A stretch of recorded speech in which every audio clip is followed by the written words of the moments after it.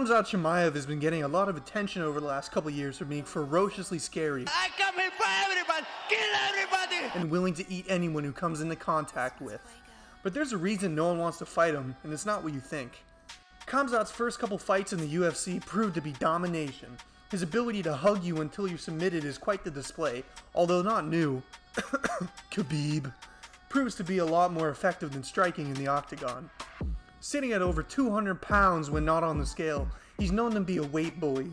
But who cares if he can make weight? Oh wait, he can't. Missing his last welterweight fight by over 8 pounds, claiming to be the doctor's orders, but it wasn't in the slightest. He just wanted another Build-A-Bear to ragdoll, aka Kevin Holland, whose grappling is that of a purple belt.